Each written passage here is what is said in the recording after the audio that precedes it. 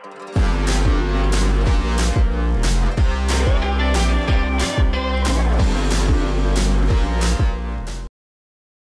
folks, this is Burke, and in this video we're going to take a look at how to use the debugger in Visual Studio Code to do things like set breakpoints and step into and step over and use the general debugging functionality built into Visual Studio Code.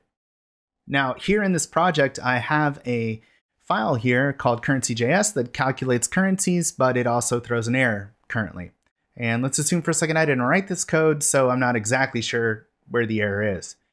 Now, to go ahead and run this, we have a launch configuration that we can run by just clicking on the play button here. Now this will start the program and then the program will terminate because there was an error and so the program stops. Now where do we see the output for this program?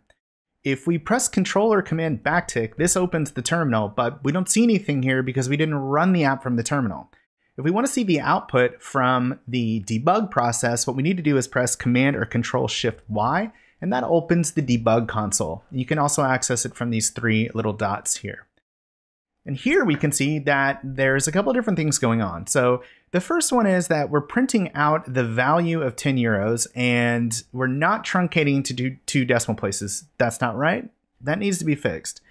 And then down here we have this actual error that's being thrown. So let's go ahead and start to debug this using a breakpoint. But where to start? Where should we put a breakpoint? Let's take a look at our code here.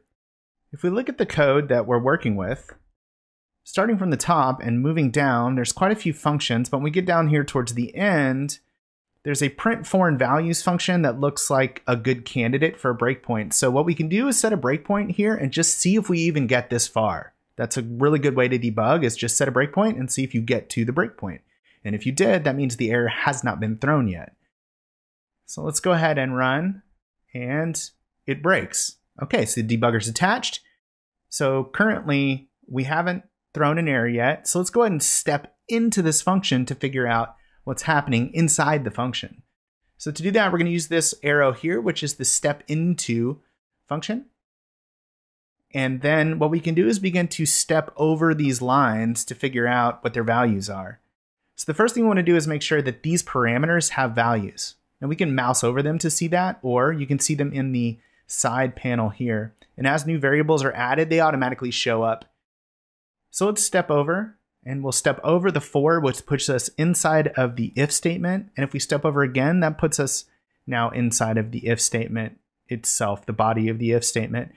And we can see that these converted value and display value have now been added and we can step over and see our converted value is that's that 11.3636 repeating that we saw. And then display value gets set right here. So let's step over that. And the program is still running. There hasn't been an error. We're good. So display value is correct. And this is what we actually want to show people in the program's output. So the next line is actually going to log that out. And you can see here, it's going to log out converted value, target currency. So do you see the problem? I see the problem. The problem is that we're using converted value and we really want to use display value. So let's go ahead and stop this and change this to display value here. And then the other thing we want to do is just remove any breakpoints that we have uh, in our program. And we can do that by going to the breakpoints variable uh, view here rather, and unchecking this currency.js, which removes the breakpoints that are currently in our program. Then we can run again. And of course, we don't see any output, but remember it's Command or Control Shift Y, which will open the debug panel. And we are now at $11.36 truncated. Perfect.